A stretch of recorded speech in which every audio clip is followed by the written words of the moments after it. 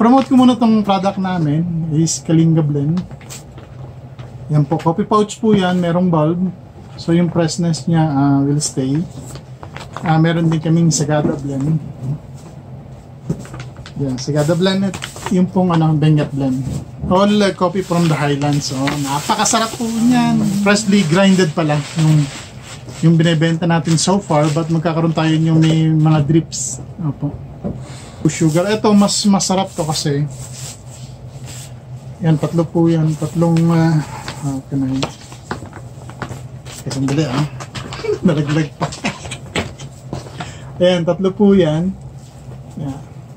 Available na po yan. Ah, Mag-PM lang kayo sa baba. At uh, yun sa mga OFW na gusto mag-business, well, this is the right time. Ito po, mag-connect kayo sa akin. And uh, pwede kayong mag-rebrand, mag-rebrand ng, ano, ng products namin. Pu- Puro kape tayo kasi. Uh, we have to help. Napakasarap po ng brewed coffee with uh, brown sugar. Yung 3 in 1 nyo sa inyo na yan. Dito. Mm. Ah, dark roast po silang tatlo. Again, Aram Coffee. Yan, Benguet Blend. Ito yung Sagada Blend.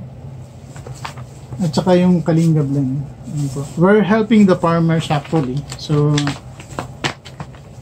ah, sana po, suportahan nyo rin tong ating produkto para naman ah, marami tayong matulungan na farmers. Yan po ah. Don't forget again, Aram Coffee po. ah, para sa mga OFW dyan na gustong ah, magdala abroad. Well, ito po. Pwede nyo yung dalhin sa abroad to. Yan. Yung pouch na yan. Ah, pang Afternoon and good evening sa mga OFW. Shout out, shout out. Sa aming sulok na mundo. Just stay safe, be healthy, and be happy always. Mm. Ibang topic natin ngayon. It's uh, uh, a new day sa bagong taon. Yan. Well, uh,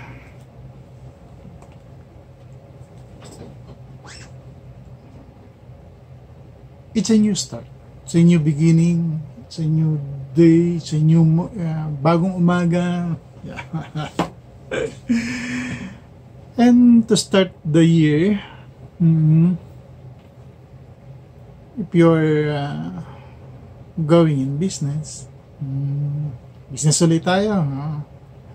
Medyo, I can share a lot of things now. What is happening to me. Kaya, mostly business yung naging topic ko ngayon. So, ano ba yung uh, first step that you will do comes the first day of the year. Mm.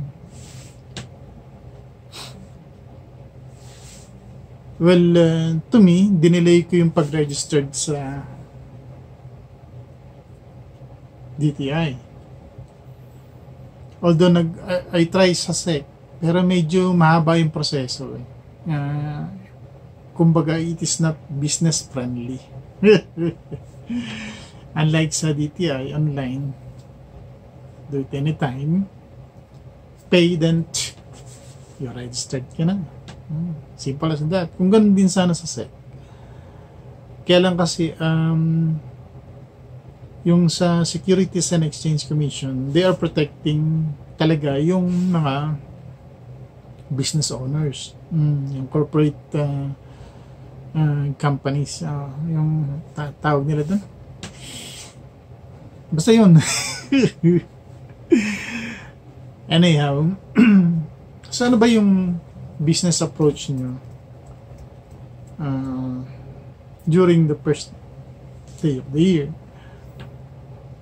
Me, uh, kahapon is exactly New Year. Uh, ang ginawa ko, hindi, log to log to lang. eh, ito, giniginaw kasi December 31, so inabot tayo ng madaling araw. And lamig. 12 degrees. Tapos sumahangan pa kaya. Ngayon, So kahapon, uh, just relax lang, chill. But syempre nag-iisip tayo how how we will do it. I communicate with our friends na uh, I started communicating with them uh, last quarter of the year. Kaya lang naging busy. Ganun pala eh. Pag naging busy ka, all yung plans mo na iiba yan. So, dapat gagawa ka ng plan na yung adjustable. Uh, pwedeng dito ka muna, then ganun. Dito ka muna, dito ka muna, dito ka muna, dito ka muna. Uh, dapat adjustable. So that uh, yung plan mo to go up is nandoon pa rin. uh, from zero sales to yan cannot imagine kasi na-experience ko po yung daily sales meron kang daily sales and uh, ang maganda kasi po noon is uh, may kita kang konti then napapaikot mo siya kita kang konti ikot ulit so y- ano nangyayari yung merchandise mo dumadami, lumalaki, and so on and so forth. Mm-mm. Siyempre, ikot na ikot. And that's the best thing to do it. Now, kaya ba mo mag-isa? Hindi po. napakahirap, napakahirap. If you're alone doing that business, tapos gano'n ang sales mo, hindi kaya. Hindi kaya. Pero as a micro enterprise, um, you need to hire someone. Kailan po meron kayong support. Like, um, you will hire him or her during this time of the year, then later on, wala na ulit. Uh, kailangan nyo po ng tulong talaga uh, especially nowadays, uh, ang ano po ngayon is deliveries. Mm-hmm. They don't they don't want to go out, but if you can deliver, they will buy from you. And that is a very very big advantage po nowadays ng mga business na mayroong deliveries. Mm. Since uh, the pandemic, naiba na po yung business field sa Pilipinas. Yan, tip ko sa inyo. Ha? Diba? Yung dati kasi, um, online transaction is very minimal. No?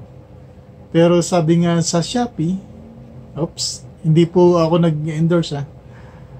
Uh, yung yung business nila naging three times.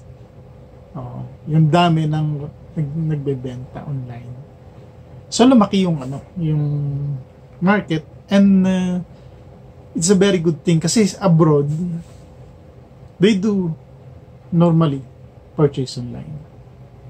Ako noon hesitant ako but lately mas okay pa yung mag-purchase ka online. The thing is that uh,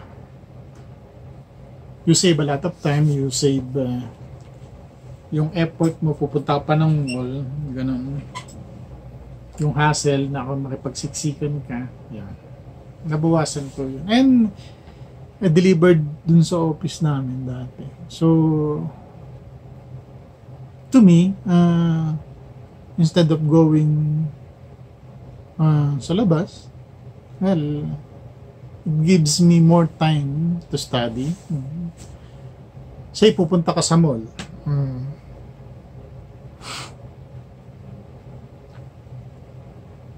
Then you'll spend time there kakain ka pa, mamasahe ka pa, so on and so forth. So yung matitipid mo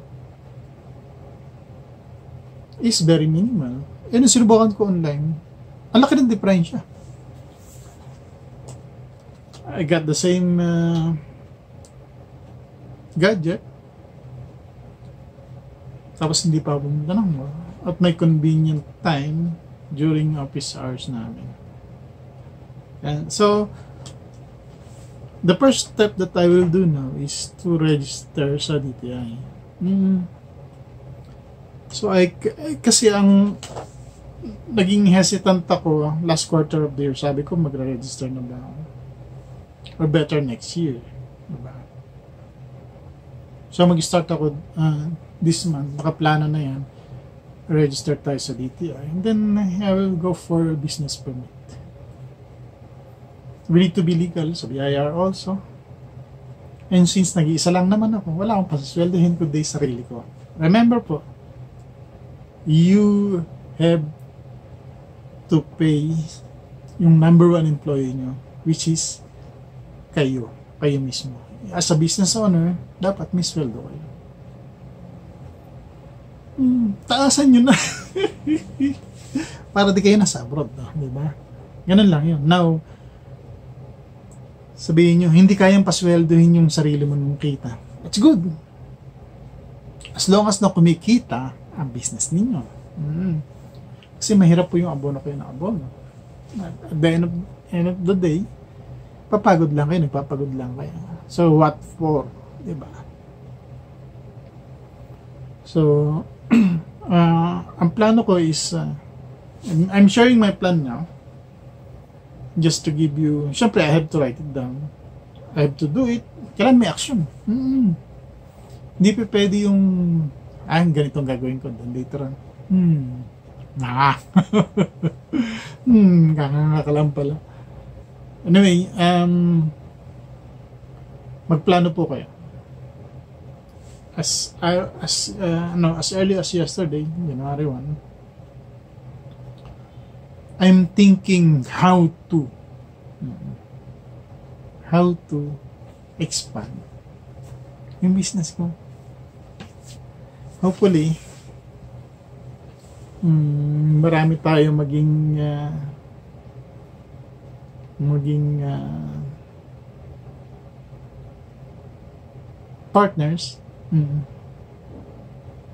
and hopefully maging maganda yung outcome. Now, it's all about gamble since you are trying to expand your horizon, hindi mo alam yung dadaanan mo. And that is the gamble sa business. Oh.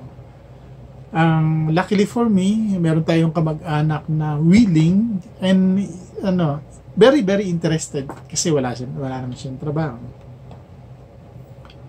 So very very interested dun sa ating business. And which is good. And uh, yung isang um, kaibigan natin, I was trying to communicate last quarter of the year, medyo naputol yon kasi nga, uh, yung pinakita ko sa kanyang business uh, uh, products is completely different dun sa ngayon. Bakit po? Number one, matrabaho siya.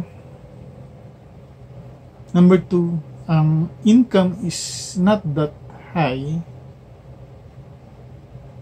Number three is uh, supplies. Hindi siya consistent. Hmm. So, mabuti na lang hindi ko tinuloy kasi pagod ako masyado. Masarap kayong tumambay. Anyway, as a new business po, yung magbi-business dyan, mga OFW na gusto mag-business, start your year ngayon, magplano na kayo, plan ahead. Plan ahead and don't forget yung alphabet natin.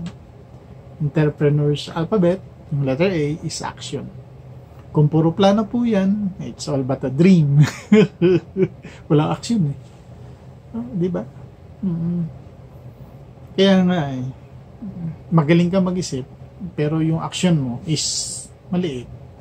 Well, magaling ka lang mag-isip. magaling na lang magplano. um, hindi hindi po kayo kinikriticize. It is but your strategy. Uh, kung yung plano nyo, it will take years, uh, it will take years, di ba? Kung 10 years yung planning nyo, 10 years na nandun pa rin kayo.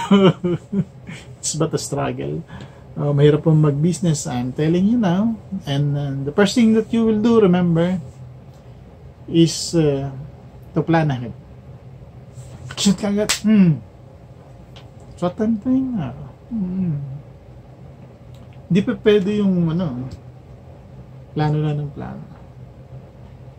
And kung may question po kayo, hope you learned something from me now. Andiyan lang po sa baba yung subscribe link. Is Mr. Arnold. Subscribe, share, like, and comment po sa mga videos natin.